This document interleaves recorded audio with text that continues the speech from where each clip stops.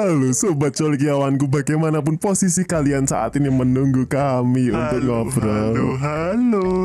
Sekarang ya Om Ledowo ini nggak sendirian Karena ada siapa di sini? Halo, nama saya Sukonto. Ada Sukonto yang dari kemarin nemenin kalian sebelum Om datang Masih inget kan sama Sukonto? Ini ada Sukonto dan saya ada Ledowo Jadi kita adalah Sukonto. Ledowo Tapi jangan disambung Oke, kita mau ngapain nih Su? Jadi, kita bakal nge-review sebuah alur film yang judulnya Love Clinic. Love Clinic. Oh ya, aku ingat Love Clinic tuh ya, Su ya. Itu ceritanya tentang mbak-mbak Korea yang sebenarnya nggak begitu kimplah-kimplah banget. Ih. Tapi dari pekerjaannya tuh dia tuh kerjanya tuh ah begitulah. Eh, Oh, ah, yang- ceritain deh, ceritain kamu aja Oke. deh, Su. Uh, film ini cerita tentang kisah cinta Mbak seorang dokter yang bernama Mbak Gil yang setiap hari memegang rudal dengan seorang laki-laki yang namanya Mas Wang yang juga setiap hari ngobok-ngobok serabi lempit. Hmm, kira-kira mereka bisa nggak ya saling pegang-pegangan dan obok-obokan? Daripada berlama-lama lagi, rilekskan pinggul kalian Siapkan tisu dan, kita putar intronya.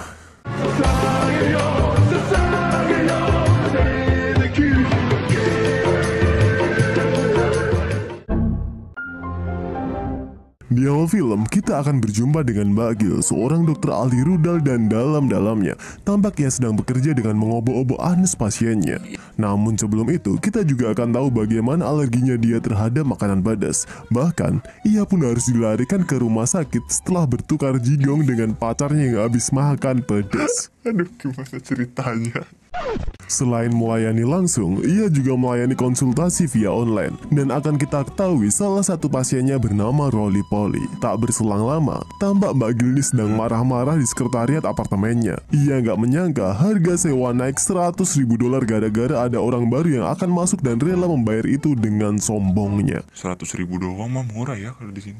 Dolar, Cok. Orang itu bernama Mas Wang. Berkebalikan dengan Mbak Gil, ia adalah seorang dokter ahli serabi lembit yang bisa membuat pasiennya terasa seperti masih suci. Kekesalan Mbak Gil pada Mas Wang bertambah setelah pagi indahnya terganggu dengan suara Wang yang sedang ngebor tembok dan juga tetangganya Siti yang terlalu bersemangat dalam bercocok tanam. Mbak Gil yang sedang menerima paket sekotak penuh kondom bertemu dengan Wang. Kesempatan ini diambilnya untuk memaki Was Wang. Namun tidak kunjung mendapat respon baik, ia pun mengejek rudal Wang yang terlihat sangat-sangat mini.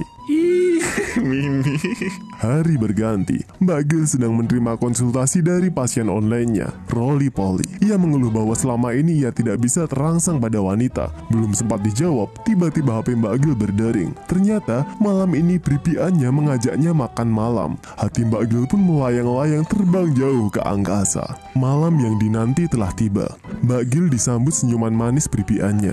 Ia pun sudah menyiapkan kata ya saat ia ditembak. Tapi ternyata pripiannya ini meminta Mbak Gil untuk membantunya sunatan karena ia akan menikah. Mbak Gil yang terlalu tegang pun tanpa sadar menjawab ya. Belum sunat dong. Dan betapa terkejutnya Mbak Gil saat melihat rudal mantan pripiannya ini sebesar mimpi yang tak pernah bisa tercapai. Meski ia tidak bisa memiliki hatinya, setidaknya Mbak Gil sepakat dengan asistennya untuk memperpanjang durasi operasi agar bisa menikmatinya. Setelah selesai bermain-main dengan rudal mantan pripiannya, Mbak Gil pun langsung pulang. Namun sayang, ia tidak dapat tempat parkir karena mobil Siti dan Mas Wang memakan tempat untuk tiga mobil. Mbak Gil yang terus berusaha menelpon Mas Wang tidak juga mendapat jawab. Ia memutuskan untuk mendatangi kamarnya. Namun bersama dengan itu, Mas Wang pergi keluar mengambil paket. Mbak Gil yang sudah kesal pun langsung masuk kamar Mas Wang yang terbuka. Tak lama berselang, Mas Wang masuk sembari membawa obat ngaceng kenceng. Niat hati hendak melabrak, tiba-tiba Mas Wang membuka pakaiannya. Mbak Gil pun langsung bersembunyi. Mas Wang yang belum tahu kehadiran Mbak Gil dengan santai yang menggosok rudalnya dengan sambil nonton OVJ. Tentu aja dong, Mbak Gil salah sangka. Dengan sangat berhati-hati, Mbak Gil berusaha untuk pergi. Namun sayang, Mas Wang juga telah menyelesaikan ritualnya dan berdiri. Wajah Mbak Gil dan rudal Mas Wang pun saling bertatap-tatapan. Mereka saling berteriak "Oh, ini gimana ini? Dan Mbak Gil lari keluar. Sementara itu di tempat lain, Siti dan fotografernya yang suka main bedang-bedangan terus mengorek informasi agar bisa bercocok tanam dengan Mas Wang. Sepertinya sawah Siti ini memang selalu basah.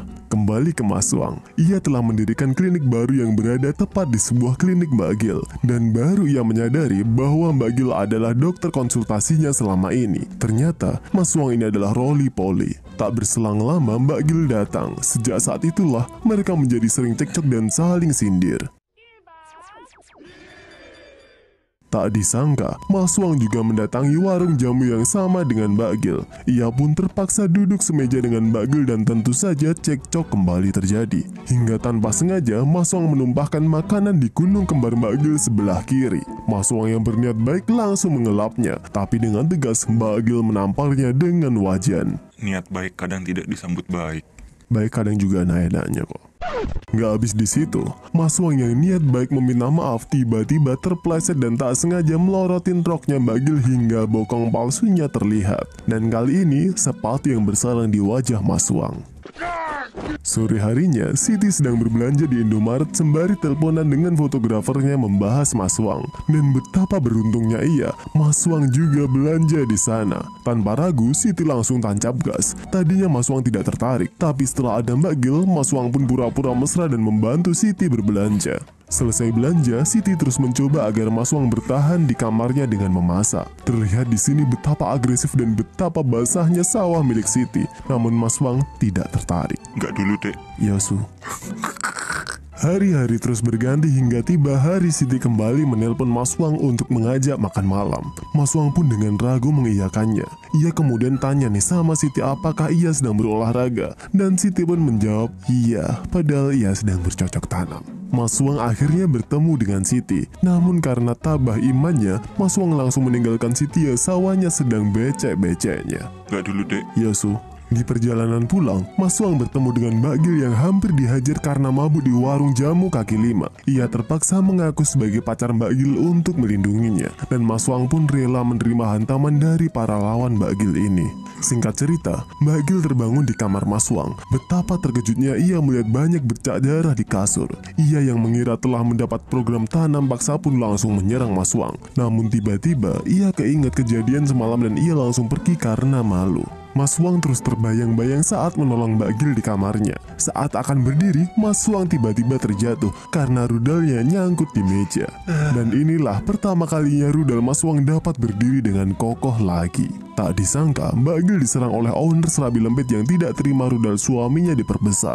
Mas Wang dengan cepat langsung menolong dan lagi-lagi ia harus menerima hantaman dari ulah Mbak Gil. Mbak Gil berterima kasih dan meminta maaf pada Mas Wang. Ia pun bertanya, apakah Mas Wang tidak malu dihajar owner serabi lembet? Mas Wang berkata bahwa ia hanya ingin melindungi. Kata-kata ini terus terbayang di hati Mbak Gil. Malamnya, Mas Wang membantu Siti mengganti lampu di kamarnya. Siti memanfaatkan kesempatan ini untuk segera nemplok di pangkuan Mas Wang dan bergoyang. Namun, kali ini Mas Wang berkata jujur bahwa ia impoten. Siti yang baik hati pun dari hari demi hari terus mencoba agar rudal Mas Wang dapat berdiri kokoh dengan cosplay berbagai macam karakter. Rolly Polly pun juga terus berkonsultasi pada Mbak Gil. Tapi semangat rudalnya tidak juga muncul. Siti yang sudah tidak tahan akhirnya bercocok tanam dengan pacarnya di mobil pinggir jalan.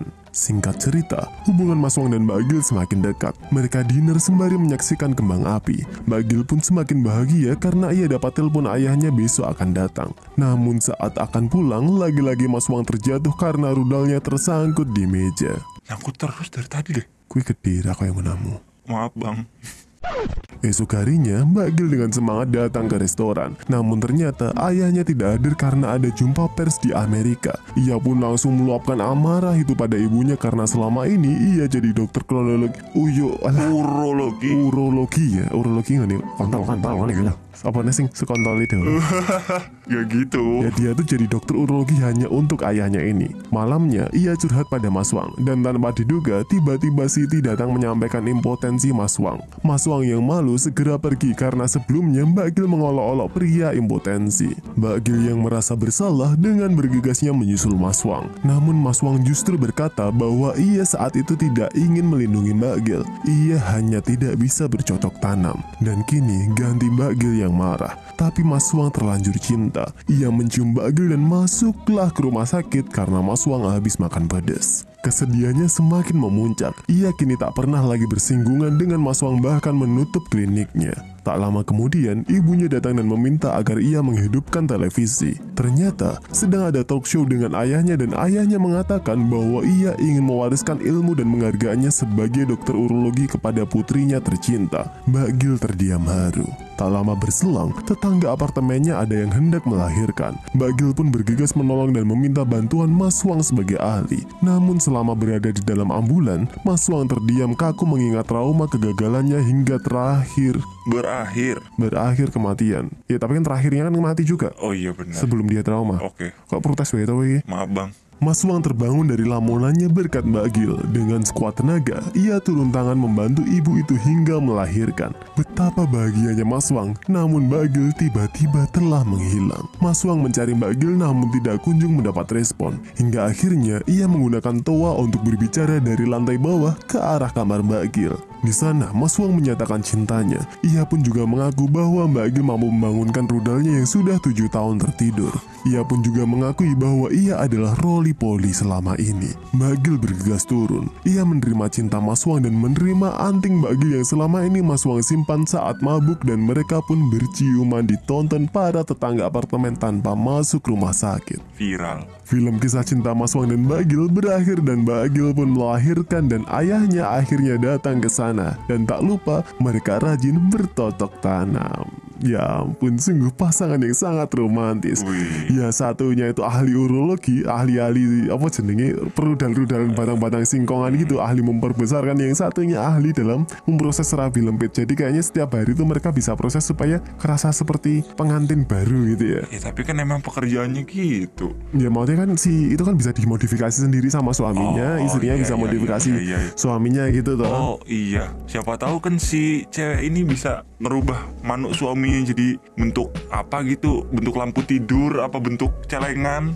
Iya gak sih? Kalau celengan berarti yang dimasukin Nah iya itu, kan ada lobangnya kan segaris. Lobangnya kan segaris gitu. Tapi entahlah itu apa teknologi sudah bisa sampai mem- membuat hal itu. Entahlah. Oke, eh, mohon maaf semuanya apabila omongan ini agak jorok dan apabila kalian nggak paham tadi apa yang diomongkan oleh Sukonto ini wajar aja karena pasti akan banyak sensor. Oke, eh, kita masih menjadi anak yang baik di sini. Amin. Om masih menjadi anak yang baik dan di Sukonto juga masih ada anak jiwa-jiwa baiknya juga masih ada. Jadi kita akan bahas film-film bokep berikutnya di film berikutnya. See you, dadah. Bye bye, stay safe, jaga kesehatan 你。